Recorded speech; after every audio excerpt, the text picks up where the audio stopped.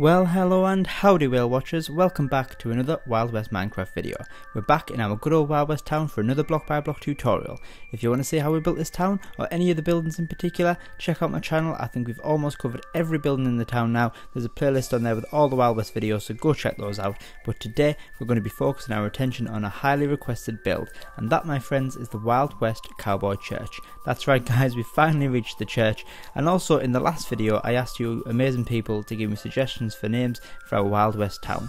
I've chosen the best ones to stick around for later on and I'll do the big reveal. So just a quick shout out to all you amazing people who've subscribed recently. You're also amazing and appreciate your support so so much. So if you haven't subscribed and want to see more videos like this then you know what to do. Anyway, let's stop mumbling on and get on with the Wild West Church tutorial. So, before we get started, let's check what we're going to need for the build. We're going to need some birch planks, some stripped birch logs, some spruce planks, spruce stairs, some dark oak stairs, some spruce fences, spruce doors and trapdoors, some of the beautiful new chains, some grey glass panes, some bells, some birch signs and some lanterns. Pretty easy survival materials. So let's begin the build. Before you start, make sure you have an 8 by 15 block area available. Firstly, we're going to fill in our 8x15 area with our spruce planks like we often do in our Wild West builds. This is to form that traditional wooden base that western buildings were usually built on, to give it a sturdy foundation.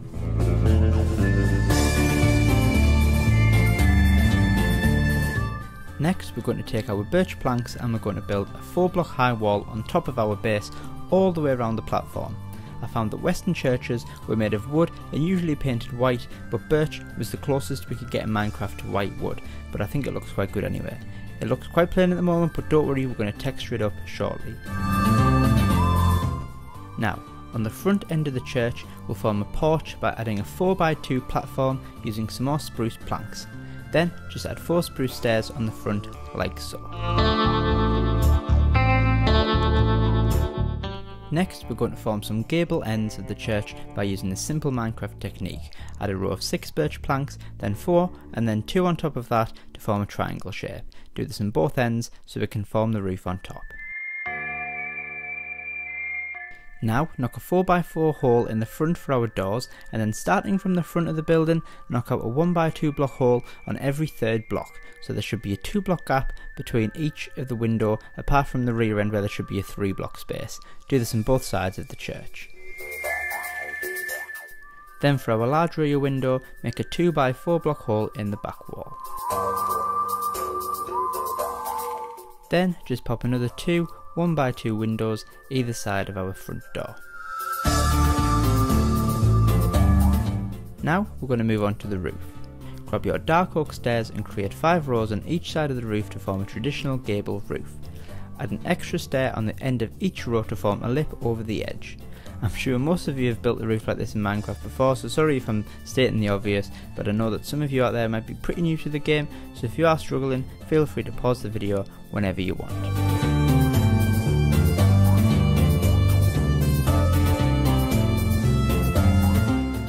Form a little entrance porch, we're going to make a miniature version of our roof using 8 more dark oak stairs on the front above the door like so.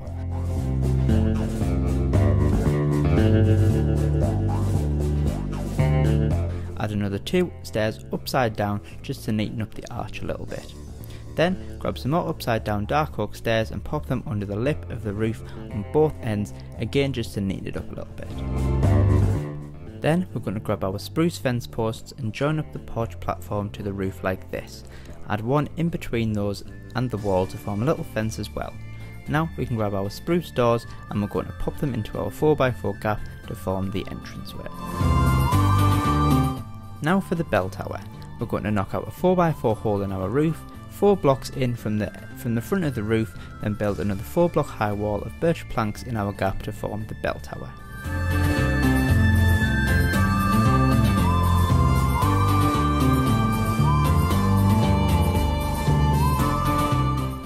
On each corner of our birch wall, we're going to add two spruce fence posts. Then using our dark oak stairs, we're going to build a 4x4 square and then fill in the square with some birch planks. Once you've done that, add another 4 dark oak stairs on top of that to give our, be our bell tower a nice pointed roof.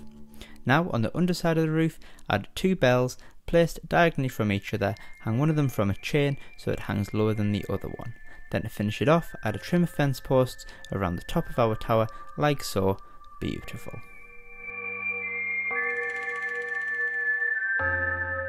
Next, we're going to grab some of our spruce trapdoors and we're going to give our wooden base a bit of a trim. Just add the trapdoors all the way around the bottom just to give it a bit more detail and a bit more interest. Now, simply go around the whole building and fill in all of our windows with the grey glass panes. I picked grey because it looks a bit dirty and dusty from all of that desert sand. Now, one of the most important parts of the build. We're going to begin texturing the walls. This is something we do in all of our builds and we do this just by replacing some of the birch planks with the stripped birch logs to make it look weathered and worn. Doing this can really separate your build from a boring looking wooden Minecraft box. Do this all over the church including the bell tower.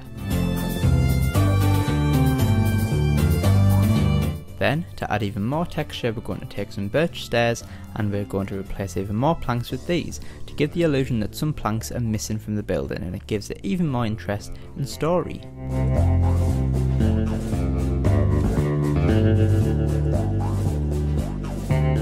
Next, add a couple of lanterns on the front of the church, and then we're going to build a fence along the side of the church to make an area for a small graveyard.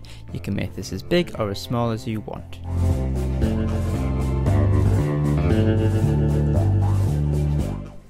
Our town isn't too big so we're just going to add a few headstones using various stone blocks like stairs and walls. Then beneath each headstone add some granite to show where the graves may have been dug and the sand has been overturned. Now to add some flower pots with some withered roses in them to make them look well, well, like withered roses. Um, so it looks like relatives has placed flowers but the hot sun has withered them and killed them.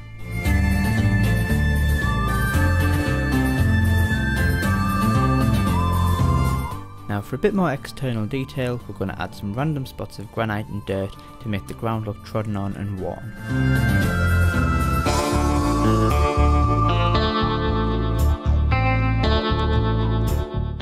Now, a part I missed out earlier is something we've done in all of our Wild West builds. We're going to go back around the whole building, adding rows of birch signs to make it look like someone has been repairing and nailing pieces of wood to this building for years. It adds even more texture and even more interest.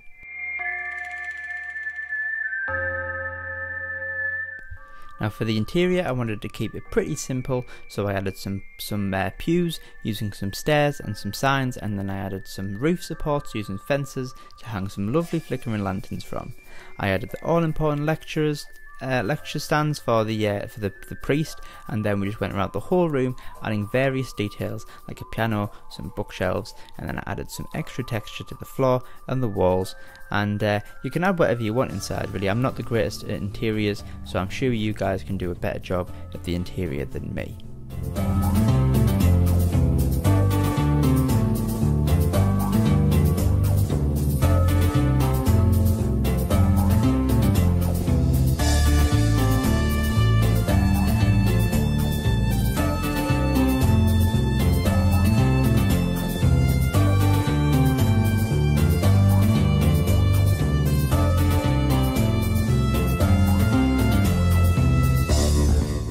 And there we have it, everyone. Our Wild West Church is finally complete. Sorry that this one took so long to get out, but uh, let me know down below if you enjoyed the build. And uh, if you fancy giving it a go, send me some screenshots on Twitter. I'd love to see your builds and creations. It really inspires me to keep going. Um, but that's it for the build. But it's not quite it for the video, as we still need to reveal whose name I picked for our good old Wild West town. So there were loads and loads of really good suggestions for the town and a huge thank you to everyone who put those comments in. However, I could only pick one and the name that I picked was Dirtwater. That's right, the Wild West town of Dirtwater. This was a suggestion by Biggie Cheese, so thank you very much Biggie Cheese, that's a great suggestion. So uh, to finish the video, let's add the new town name onto our sign and uh, I say a big thank you to everyone who's watched, liked and subscribed and the whale watching community is amazing. So until next time guys, tatty bye.